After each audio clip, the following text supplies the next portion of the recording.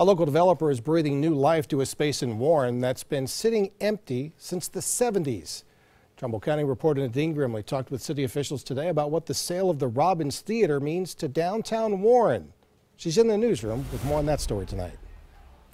Well, Dave, the city of Warren has seen a lot of revitalization over the past few years, but the Robins Theater has always been a big hole on a very busy street, East Market Street, leading right downtown Warren. But city officials hope that'll soon change.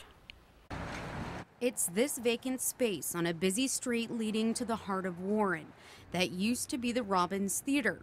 It's been idle since it closed in the 70s, but is now roped off with caution tape a sign that new life is coming to this empty front. The city's thrilled about it. According to the Trumbull County Auditor's website, Mark Marvin's Downtown Development Group, LLC, bought the building last week for $375,000. I think he saw the potential for it um, as an entertainment venue, as a hub in the downtown, and primarily as a draw in the downtown. The Robins Project announced the sale and says Marvin intends to restore the theater and have Sunrise Entertainment, the company who runs River Rock at the AMP each summer, manage it. We look forward to what they're going to bring to the venue. Safety Service Director Enzo Cantalamessa says this will only help attract people downtown. Where the entertainment dollar goes, so goes restaurant dollars, um, bar dollars, tourism dollars. So it, it's part of a large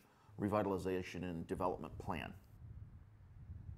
Now we are expecting to learn more about those development plans, plus get a tour of the space at a press conference scheduled for February 6th. Live in the newsroom tonight, Nadine Grimley, WKBN 27 First News.